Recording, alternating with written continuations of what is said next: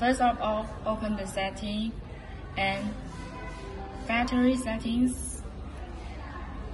Enter the password 68888848 and OK. Then the protocol parameter settings. And then reverse lay the auxiliary lines open them.